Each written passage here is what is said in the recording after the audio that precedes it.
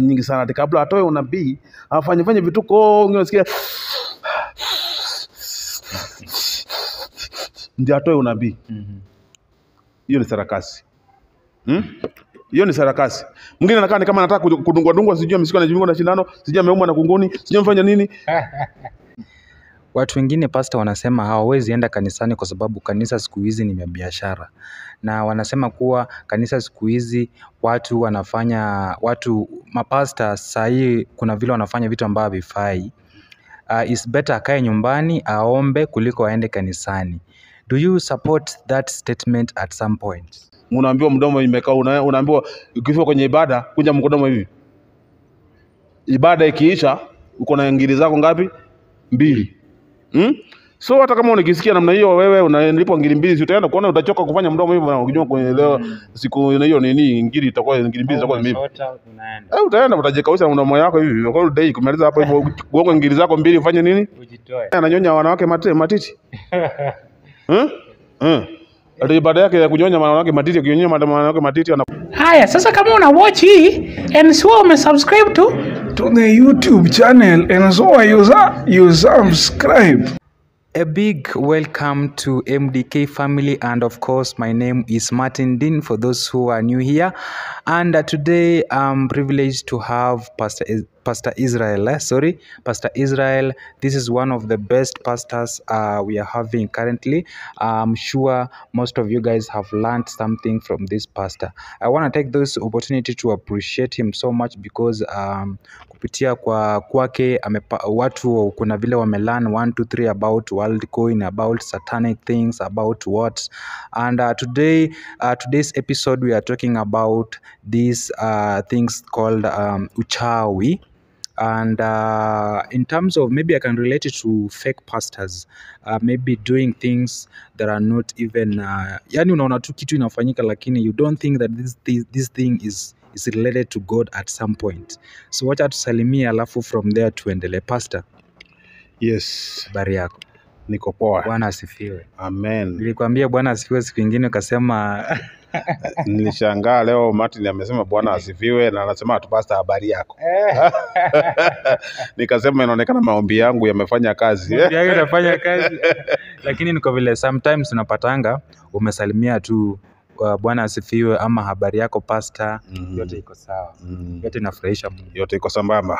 Yeah. uko salama tangu tufanye deliverance ya kijana pale? Eh, niko salama kutaka tufanye hiyo deliverance ya kijana. Unajua mimi hata nilipoona ya kijana nilishangaa nikashindwa tena huyu naye amekuja na amekuja kutoka wapi? Mm-hmm. so mimi nilikuwa natarajia kudili na yale mapepo ya baharini ile na nika, sina asha sina nini lakini tu nikafanya kwa imani. Nashukuru kijana kwamba alitoka hapa kama amefurahi. Mm -hmm. na nashukuru ni kazi ya mungu. Mm -hmm. si kazi yangu. Kabisa. Kwa sababu mimi mwenyewe nasema mimi hakuna vile najiwekanga ati juu on top ya kwamba mimi ndio champion wa kupigana na mapepo. Kabisa. Lakini mimi nasemanga bila yesu bila yesu mimi siwezi. Mimi ni chombo tu mungu ananitumia. Exactly. Na kama wewe ni kijana unanisikia mahali pale uko na shida na kusumbua amini tu mungu nakuja tuombe pamoja. mm. Na mungu atatenda. Atatenda. E, na kama hata uwezi pamoja pamoja na mimi tafuta mwingine kwa sababu mimi sio mchungaji peke yake. Exactly. kuna wengi ambao wako anointed than me. Mimi ni chombo tunanyenyekeaga tu mungu anitumie. Mm. yes. Uh, tukienda hapo mbio mbio kidogo mm -hmm. uh, unapata kuwa watu wengine walikuwa wanasema kuwa ilifaa umfanyie deliverance the whole two hours the whole three hours. Hebu tuambie kuna watu wanaamini deliverance inafaa ifanyiwe for how long? Maybe uh, deliverance inafaa kufanyiwa kwa muda gani? Kwa ufupi. tu inategemea na mtu vile ameathirika Mhm. kuna mtu ambaye unakuta yule mtu labda kiwango chake Mhm. cha kuwa kwenye mapepo ako kwa maana unapokuta kwamba yule mwenda wazimu yule Yesu alikutana naye mtu alikuwa ametoka baba- anaishi kule baharini yes. na yule mtu nasemekana kwamba alikuwa amefungwa na minyororo Mhm. sasa kufungwa na minyororo inamaanisha kwamba yeye hangeweza kushikwa na watu wawili Mhm. ama mtu mmoja huyo alihitaji umati umshike na umfunge kwa sababu huyo mtu alikuwa possessed kabisa. So kama mtu yuko possessed kabisa hata mimi mwenyewe sisi nikamfanya nikiwa peke yangu deliverance nahitaji Aisha siwajia mahali pale kwa sababu mimi mwanadamu atanitandika mateke na atanitandika ngumi. Mm. so inahitaji pia pia ni apply wa kuwe na watu ambao watanisaidia kumshika. Na kisha mshika kazi inakuwa rahisi. So yule kijana nilivyoona tu alikuwa ameathirika ndio alikuwa ameathirika lakini nilikuwa ni kama ako tu amekuwa hajielewi na jinsi ya kwamba nami vile nilivyo, kwa sababu I'm also a prophet, najua kile kiwango mtu alivyo. Nilipoona nikaona huyu tu ni vile kwamba hajielewi, ameingia katika ulimwengu mwingine, ni kumdisconnect tu. Naona hapa na hapa nilipoomba na yeye haikuchukua muda mrefu, I think hata haikuchukua dakika mbili, Haikuchukua dakika mbili. iko na akakuwa huru. Mm. So nashukuru Mungu kwamba kwa sababu kijana maisha yake yako sawa na ni furaha yangu. So sitataka kujua ataishi maisha gani huko nje kwingine. Mimi nilifanya kazi yangu na nikamwacha mikononi mwa Mungu. Yeah. kabisa Yes. na pasta tukisonga mbele kuna hii story ambayo niliona tiktok ya pasta innocent ambaye uh, ako pale uganda. Mm. na ku, the reason as to why nimeleta hii story ni kwa sababu most of the people kwa comment section they are, they are saying that uh, this, is, this pastor is fake.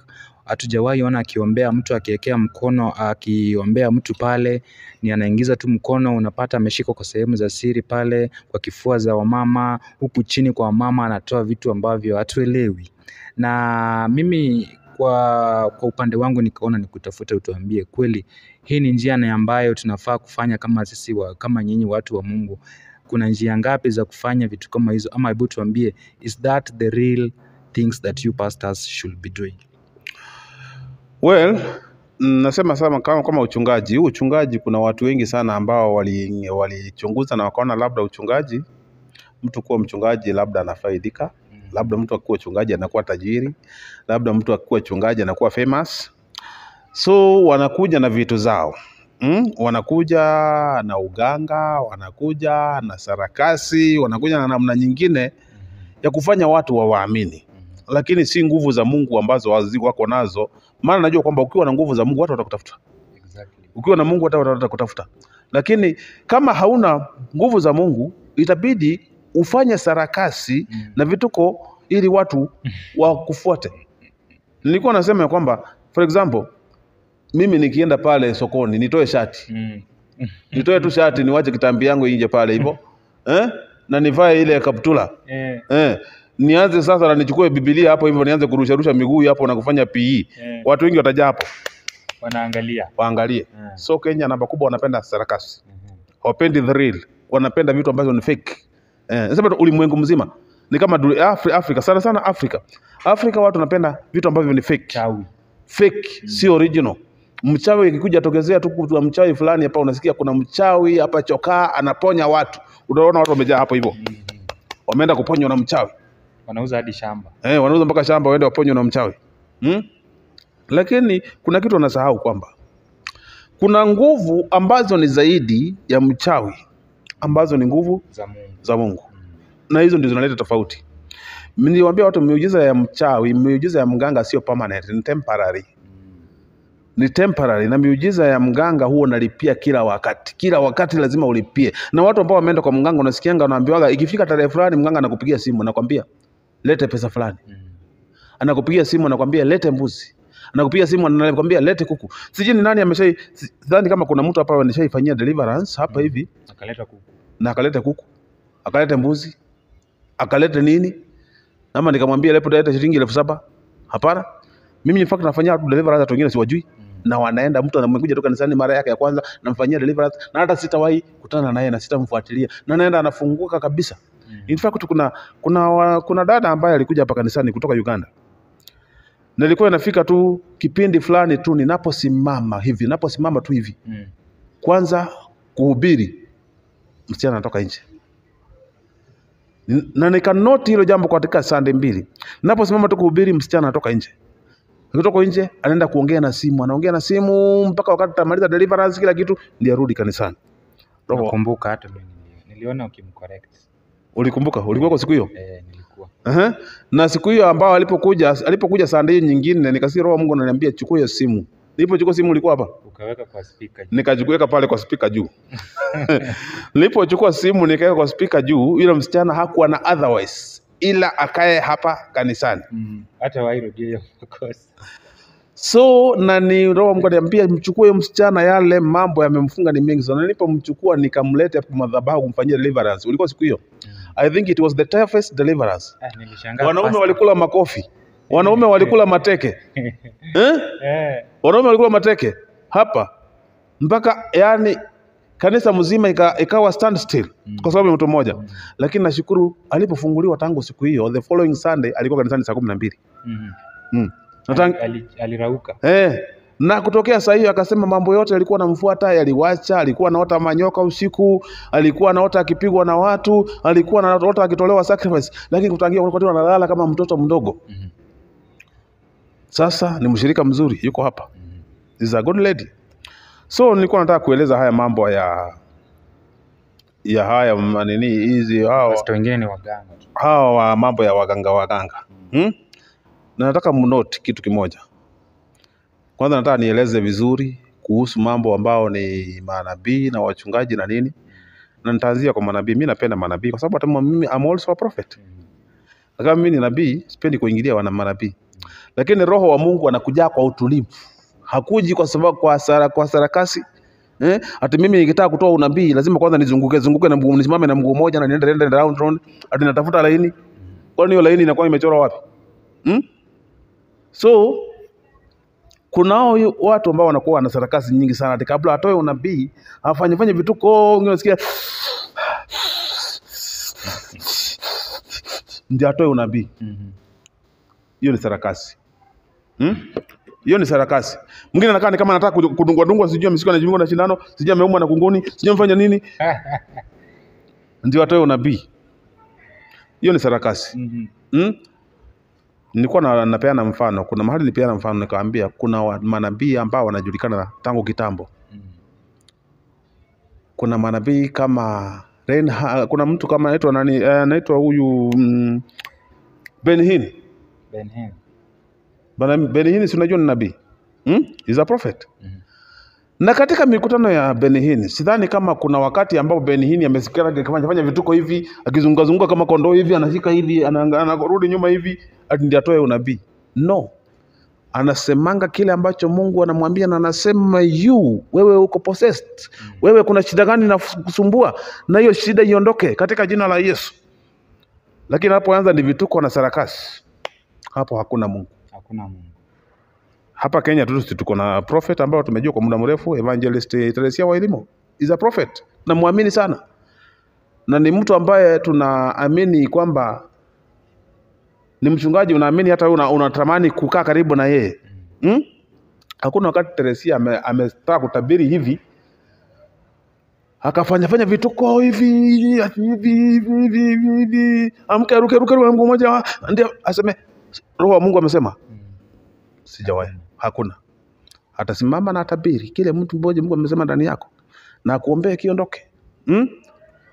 na huo ndio tunazungumzia unabii wa kweli ambao mtu atasimama na kuambia shida fulani na kusumbua na kuombea hiyo shida iondoke sio vituko na sarakasi oh mtu anaanza kuchukua anaanza kuingiza nini mikono kwa matiti ya wanawake hivi eh? anaanza kuingiza mikono kwenye pandi za wanawake ati anatoa ndani kamba Nyama.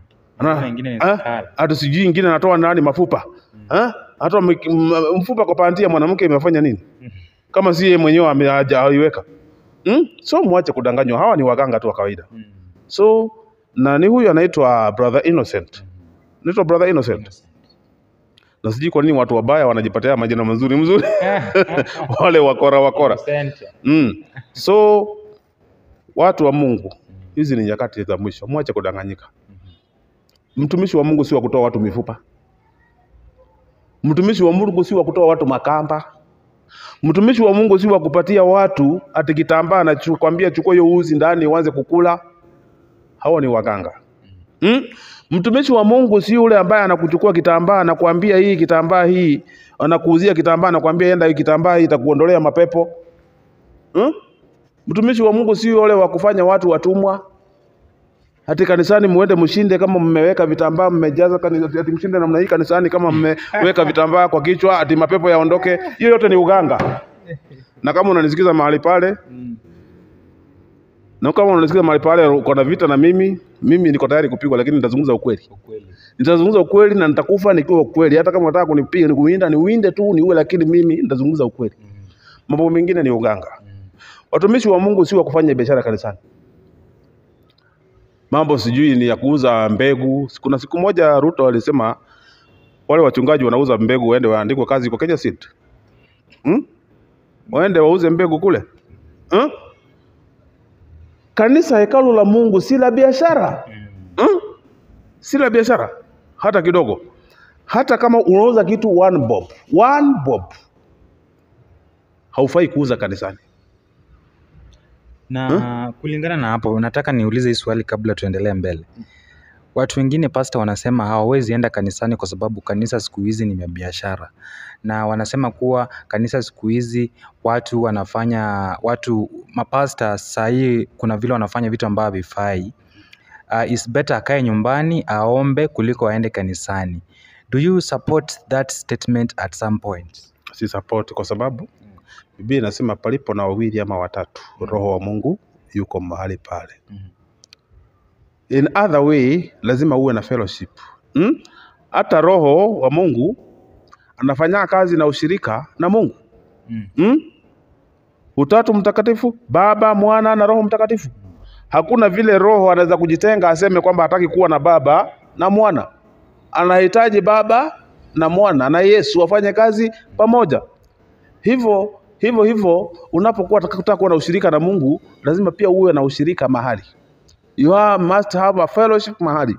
Wewe sema kwamba utajiombea ujitolee sadaka ujitolee fungu la kumi urudi uikule hiyo fungu la kumi urudi uikule hiyo sadaka eh? na pastor kama huyo mtu pastor pasta wenyu mwenye mna follow si pasta mzuri ni anafanya anafanya tu vituko vituko uta so kuna kitu ambacho mimi nasemaga hivi pasta wenu kama si mzuri si yeye pasta peke yake Mm. si yeye pasta peke yake na si ameitwa na mungu peke yake eh?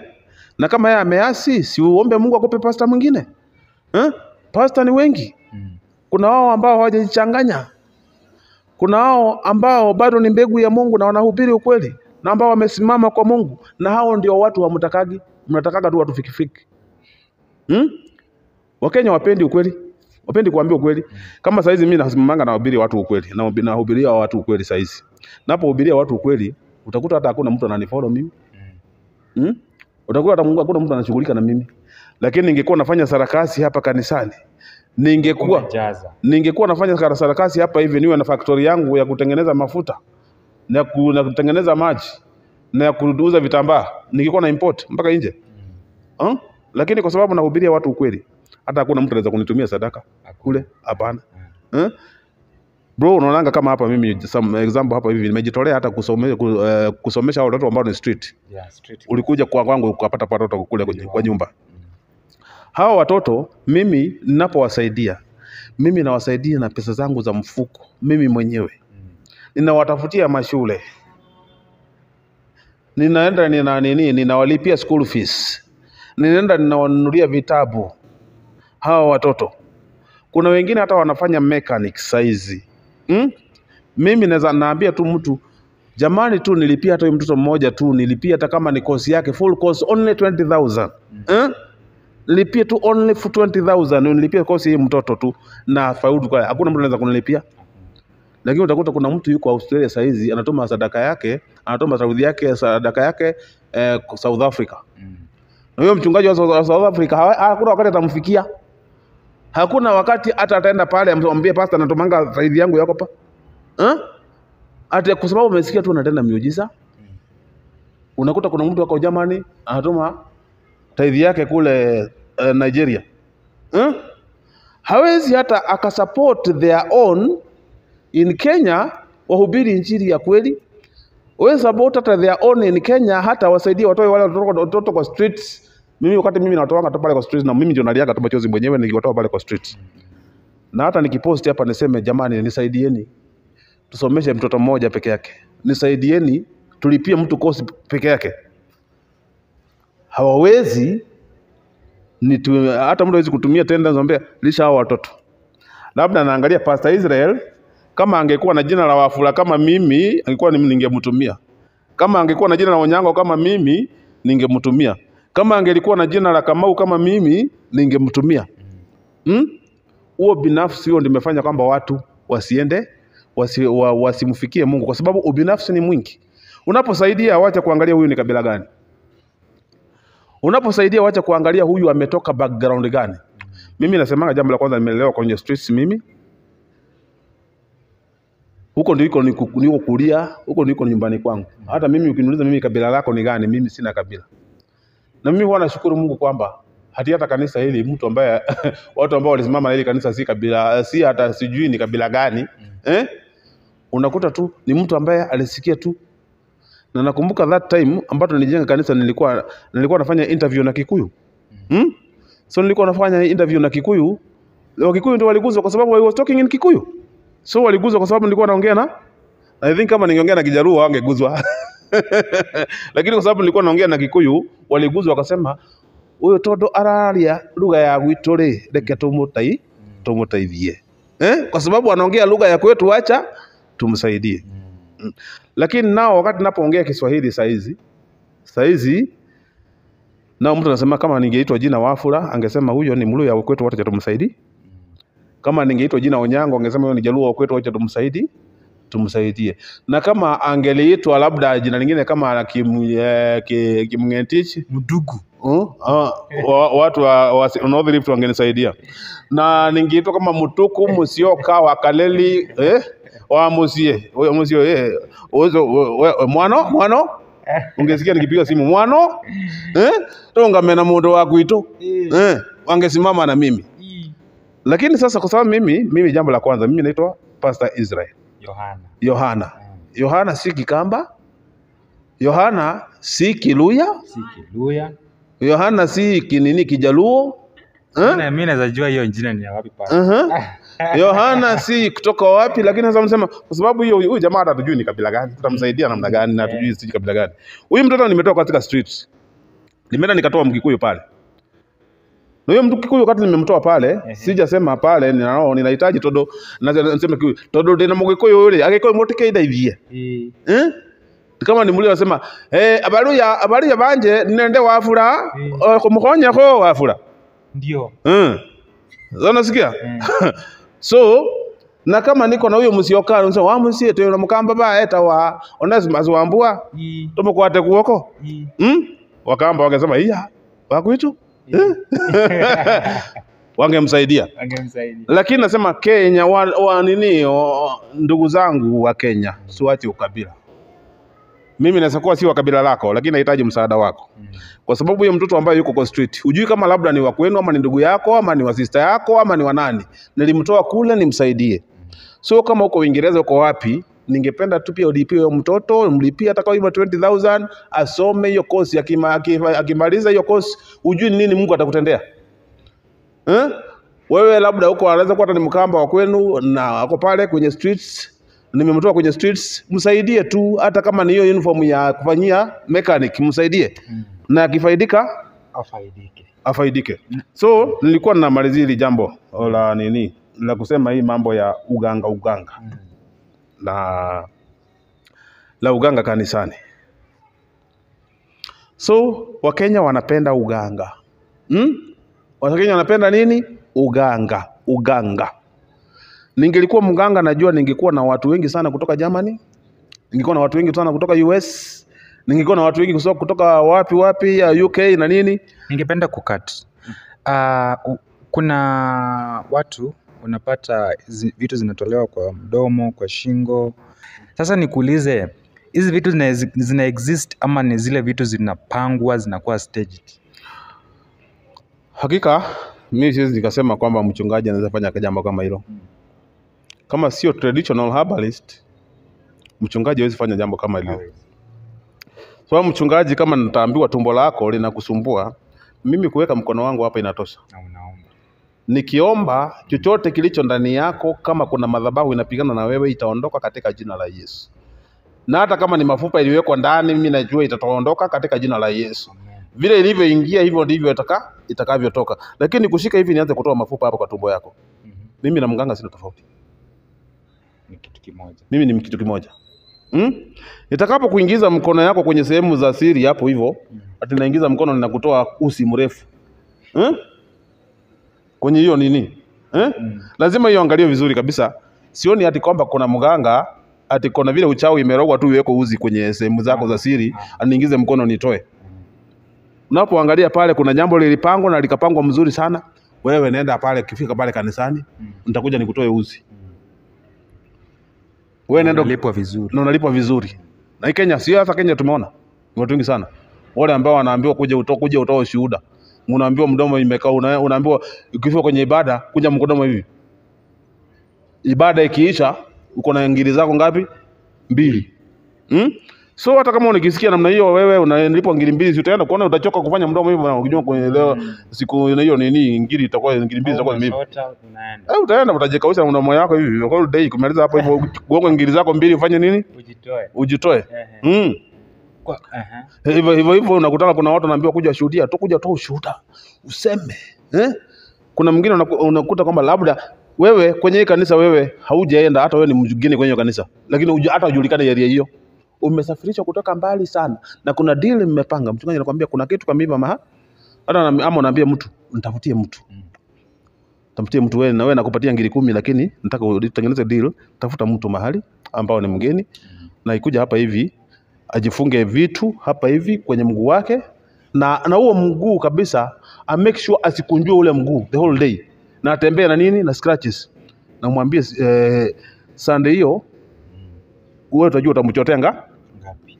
atakuja na anasimama na zile nini zake, atakaa hapo the whole day, wakati wa deliverance akuja hapo akuja hapo, mara kidogo ayakirie, aseme nimepona. Mm. Utapeli ambao umejaa makanisani siku hizi, Mungu atusamehe na Mungu atusaidie, maana tunaishi nyakati za mwisho. Utapeli ni mwingi sana.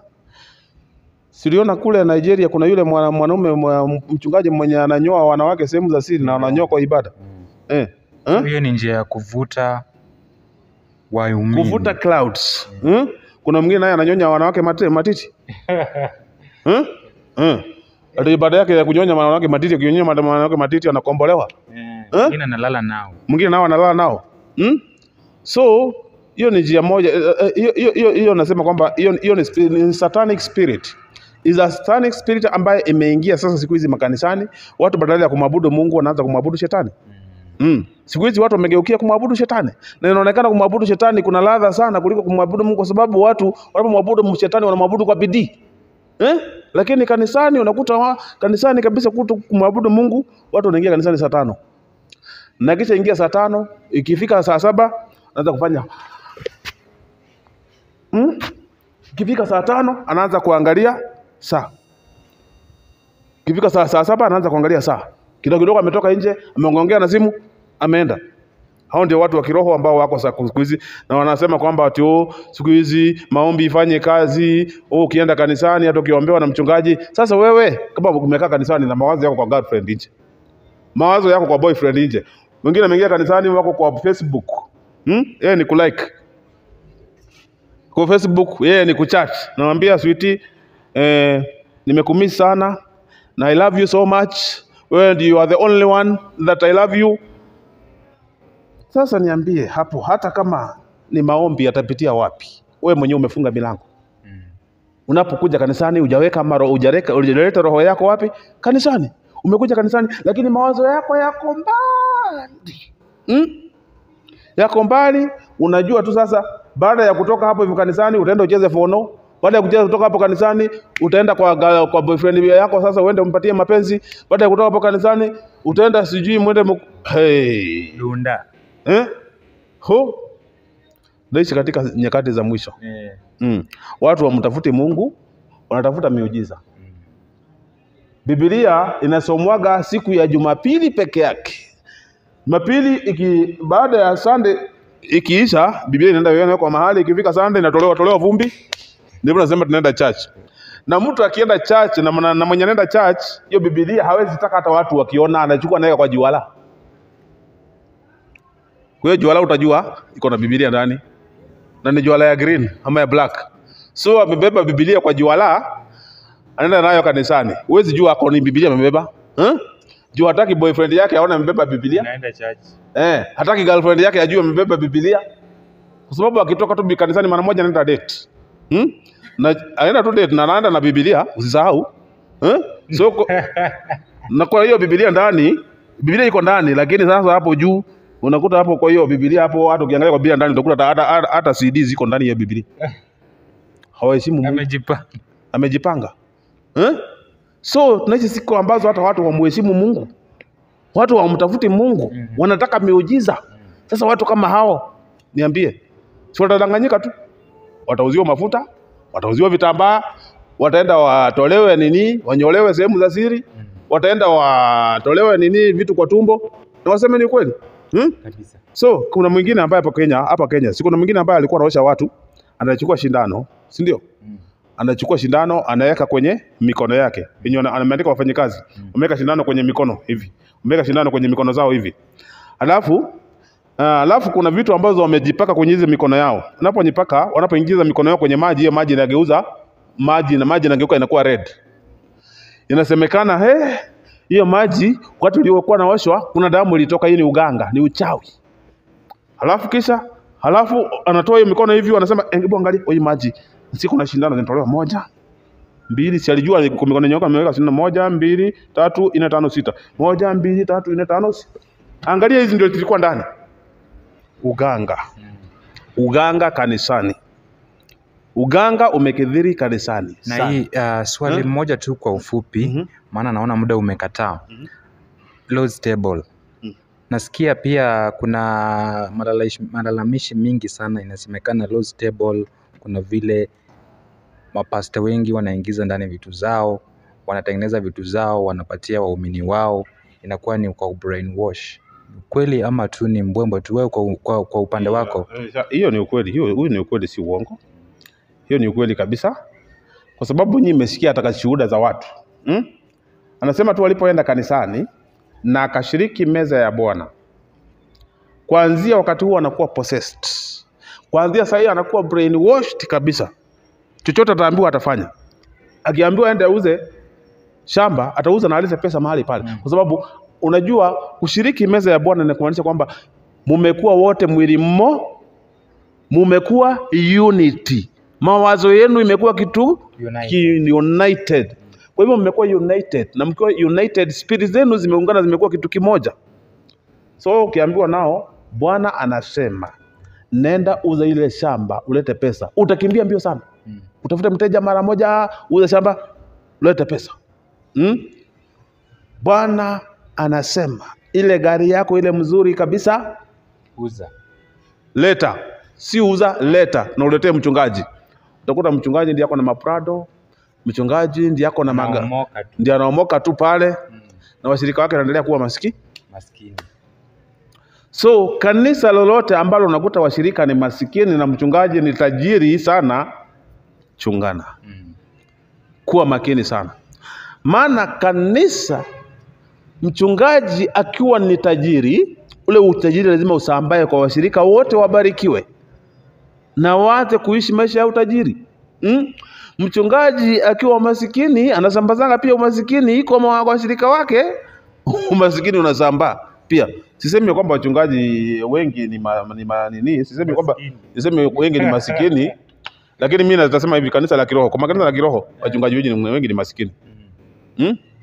Wachungaji wengi ni masikini kwa sababu utaangalia katika makanisa ya kiroho makanisa ya kiroho hapa watu wanaonganga in tongues. Raka bayantala bashikiri bayantala saka hola riba sika. Sasa hao watu unakutanga kanisa ndio wanataka kutoa coins. Au ndio wanatoa coins kwenye nini? Kwenye madhabahu.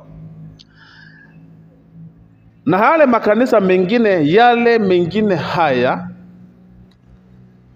for example ukienda kama Catholic Catholic wanajua kutoa. They are givers. Hata friends. Huh? Catholic, Catholic they are givers. Mimi nimeshaikuwa mshirika wa Catholic, lakini Catholic they are givers. Hmm? Catholic utakuta mtu akiwa pale kanisani atakula ile nini, atakula ile nini tunaita ni sacrament. sacrament Na akitoka hapo aende agoge mzinga moja. mm. Eh? Lakini mjamaa atasimama hivi atasema mimi najenga choo mimi hata sina vizima jenga, mimi ndio nitaweka rufu. eh. Eh. Mimi nitaweka rufu. Na ni mrefu. Nasema mimi nime mimi nitajenga rufu. mrefu Mlevi. oh. ni mlevi. Na atajisema mimi nitajenga rufu na atazenga hiyo rufu nini kinini kitatazuia abarikiwe? Si atazuia kubarikiwa? Hata kama ni mlevi na ametoa si atabarikiwa? Eh? Si Biblia inasema the hand that gives receives. Pa- pa- at the hands that is saved is born again. Eh? Haisemi mkono ambao ume- umeokoka. Inasema the hand that gives. Gives. hata kama wewe ni mlevi ukitoa tu utabarikiwa. Exactly Huh? So unakutanga ukienda kama Catholic watu wanatoa na unakuta Catholic watu wamebarikiwa, na unakuta watu wanaendanga na maprado na manini, kwa sababu wanajua they are givers. Lakini enda kwa kanisa raka basa kahola rika bo sinta coins ndio unaleta kwa kwa, kwa madhabahu hmm? mm. lipuka lipuka kwa Eh, unasikia wakienda kwa madhabahu kwa- kola kola kola kola kola alafu wakitoka pale na nasema Mungu umetusahau, Mungu umetusahau, Mungu tukumbuke. Sasa kama nyinyi ni wezi, hata fungu la kumi ya motoi, kwa sababu kama kama ya kiroho unakutaka wengi, hata wenye wanatoanga tithe, hata ya badala ya kutoa 10% wanatoanga 1%. Eh? Ama wanatoa 2%. They are thieves. Wengi wao ni hata ni wezi. Hmm? So jambo la kwanza, kama wewe si mwaminifu kwa Mungu, usihitaji Mungu awe mwaminifu kwako. Kama wewe hautembei na Mungu, singoje Mungu atembee na wewe. Shetani atatembea na wewe tu, na hivyo ndio utakutanga watu wengi wanaingia kudanganyika, kwa sababu njia zao haziko straight na na Mungu. Hmm? si uaminifu kwa Mungu. Hmm? ni wanaenda watendewa miujiza, unaenda kutendewa miujiza kule ya Shakahola, na mchungaji wako hapa anatembea uchi. Mchungaji wako amerarukiwa, hata huwezi chukua kasuti. Ka uko na, na suti nyingi, lakini huwezi chukua kasuti. Kamoja uletee mchungaji wako. Unataka hata kumbariki kumbariki na kale kamzee peke yake, naishi kuwa maskini tu kabisa yeah. na ah, hiyo mambo I think tutaeleza kwa urefu kidogo baadaye. Uh, maybe niko swali moja. Kuna kuna inasemekana kuwa wasanii wa Kenya wanaingia katika njia ambazo hazifurahishi Mungu. Inasemekana kuwa wasanii wa Kenya wameingia katika katika Freemason. Inasemekana wanaflaunt pesa kila mahali. Ungependa kuongea na wasanii wa Kenya uwaambie nini? Mi wasanii wa Kenya, lakini nitawaambia kitu kimoja, mjue kwamba eh, shetani ana baraka zake, lakini ujue kwamba vitu vyote, vitu vya mganga, hakuna kitu cha bure. Shetani hana kitu cha bure hmm? Shetani chochote ambacho umepewa na shetani utalipia. Everything umepewa na shetani utalipia eh? Na kama hautalipia na damu yako eh? utalipia na uhai wako we mwenyewe, ama ulipie na uhai wa watu wenu. Maana hiyo unafurahia ule utajiri pale, lakini dakika ya mwisho wewe utakapolia, nataka tu uniangalie, wale ndio wengi wao ni matajiri, wengi wao wameomoka sana, lakini niambie, wanaendaka miaka ngapi ya kuishi eh? Si mingi, si mingi, ni kidogo sana eh? Kwa sababu shetani apeanagi kitu cha bure, na ukichukua kitu cha shetani na ukosea masharti ya shetani kidogo, wewe kusha Ni kama tu altcoin. ya ni kama tu altcoin eh? Wale ambao walikimbilia altcoin, oh, oh, altcoin altcoin, sasa hizi wengine ni vipofu waoni hmm? sasa hizi wengine wanalilia wanalia machozi hmm. Walikuwa wanakimbilia vitu za bure, Pesa za bure. pesa za bure. So hizo vitu ambazo mnakimbilia hizo vitu wakati mtakuja kujutia ni kwa nini mnakimbilia mnakimbilia mnakimbilia pesa za bure. Mnakimbilia kuwa famous. Eh? hata mnakimbilia kuomoka. Hiyo kuomoka yenu itawaomoa Hmm? hiyo kuomoka itawaomoa hmm. mm. unasikia? Kule ile nyumba unasikianga inajengwa haraka haraka sana inajengwa haraka haraka. Kwa hiyo unakutanga hata misingi yake haiko imara. Unakuta mara moja nyumba imeanguka imeua watu kwa sababu inajengwa haraka haraka na wana, wana hawa watu wa nini wa wanaitwa tumesema ni wasanii Wasanii. wa Kenya mnataka tu kuomoka haraka haraka haraka haraka muwe famous haraka haraka mm. so hivyo vitu mtakuja kulipia mm -hmm. kila mtu awaambie kwamba ndeni polepole kwanza angalia njia unayopita kama Mungu yuko mahali pale mm. kama Mungu hayuko ondoka Ondoka. Na ukiangalia since pastor ni mtu wa kusema ukweli na wewe ni wa kukosoa na kujenga. Hebu tuambie wasanii wa gani unge, ungependa kuwashukuru sana, wasanii wa gospel, wasanii ambao wame, wameenda katika njia hata kama ni moja, hata kama ni wawili, ungependa kuwashukuru sana, na wale wenye ungependa kuambia rudini kwa Mungu. msanii wa kwanza Sara K Mm. Sara K mahali ulipo ninakupenda sana Mm. Msara wa pili, msanii wa pili Jemima Jemaima Dhiongo. Diongo. Mungu akubariki sana mahali ulipo na uzidi kutembea katika ukamilifu. Msanii wa tatu Mary Atieno. Mungu akubariki sana na uzidi kusimama imara na Mungu azidi kukupigania. so far wale ambao mimi naweza zungumzia habari zao watu watatu ni hao watatu wengine sina ushuhuda wao lakini wale niko na ushuhuda wao ni hao sijaona wamejichanganya sijaona wameitwa kwenye baa kwenda kwenda kwenda kwenda teni kwenye baa eh? ni watu ambao wako na msimamo wa wokovu wao Yes. na wametupa mfano mzuri sana katika wokovu ila kuna watu ambao mimi nitawakosoa tu mm? hata saizi yao nasema saizi yao hata si ni kama si gospel nini singers eh? sasa in fact nani hata barabara penye naelekea ni kuwa mganga hmm? Maana zile vituko anaweza fanya hata zile za msanii eh? bahati naye amefuata njia hiyo hiyo hiyo mm. njia ambazo wanaendelea nazo penye wanaendelea hawako sawa wanaenda wakipotea na kupotea kabisa mm? na waimbaji wengine wengi wengi sana ambao wanaona wamepotea katika njia za Mungu mm? na ndio tutaongelea habari yake sana, tumeongelea hata dunia mzima imeongelea, sio kama tutaongea habari yake sana, hata dunia mzima imeongelea habari yake. Kwa hivyo hata sisi tukiongea habari zake. So kuna mm, kuna msanii mgani, kuna mmoja hapa ambaye najaribu kuangalia ni nani huyu, nani huyu hmm? Kuna yule msanii ambaye alikuwa anaitwanga nani? Alikuwa anaitwa Jimmy Jimmy Jimmy Gate. Jimmy Gate. Jimmy Gate, hivi. Jimmy Gate, kuna wakati ulisema kuteseka ni kwa muda Kuteseka ni kwa muda. mm. So it, ile ile comeback ilikuwa ndio ile setback ikawa ndio comeback. Ulimba na ukaomoka, Mm. na ulipoomoka sijui ulienda wapi. Mm. Mara tunasikia unafanya biashara ya kuuza wasichana hapa ukiwapeleka South Africa nini eh, Saudi Arabia mm? So mrudieni njia ya Mungu mm. Rudieni njia ya Mungu Na mm? one by one, mm. kwa ufupi tu, ungependa kuambia nini Sokau? Ungependa kuambia nini Bahati? sio kao bahati na sio kao bahati embarambamba mi kinipenda kuambia turudini katika njia ya Mungu. Na bahati rudi katika njia ya Mungu. Rington rudi katika njia ya Mungu. Mko katika njia ya Mungu mliwacha wokovu na mkawacha Mungu Mungu katika dunia. Rudieni Mungu. Na tunawapenda. Exactly. yes Ongea na watu ambao wanakusikiza pale, waambie watakupata wapi.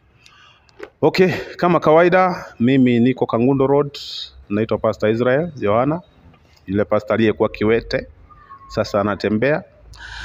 Uh, niko Kangundo Road na ukitaka kunipata nitakwambia niko wapi. Kangundo Road Chokaa, nambari yangu ya simu 0722 744 0722 that is my personal number. Nambari ya kanisa ni 0721 Pastor zijatosha. hmm? 07 Uh, 0722 744 672 0722 744 672 so utanipata tutaongea na wewe. Unapitia masaibu, masaibu, masaibu, masaibu ya hapa na pale. Eh? labda mashida kwako hayapungui. Zimekuwa mingi. Wewe labda, wewe labda pia umekuwa possessed na maisha labda uchao umeingia kwa uchawi unashindwa utatoka namna gani? Uliingia kwa Freemason ulishindwa utatoka namna gani? Nitafute. Eh, wewe labda hata ulishirikishwa tu na ukaingia mahali pale unashindwa utatoka namna gani? Nitafute. Nitakusaidia vile utakavyotoka mahali pale na utakuwa huru katika jina la Yesu. Maisha hayakuendei mzuri, umejaribu hiki na kile, kuna maroho yanakufuata, unashangaa, kwani mlirogwa? Yesu anaweza. Nitafute, tutaongea na tutaomba Mungu anaweza. Eh, shalom, Mungu awabariki. Shalom, shalom. Asante sana for those people who have been there from the start up to this particular time. We have, done, we have now come to the end of this session. And of course, kuna ule anataka kusupport pastor, mpigie simu, mtext pale, umwambie pastor, nilipitia interview yako nikaona imenibariki sana. You can always aulizange sadaka but for me I'll, I'll, I'll kindly ask you if you have got any uh, anything that you want to appreciate pastor ampeana namba yake pale. You can just uh, feel free to uh, text him call him mwongee pale umwambie ndio hii ya chai ndio hii ya uh, ununulie watoto chai ndio hii wheelchair pale.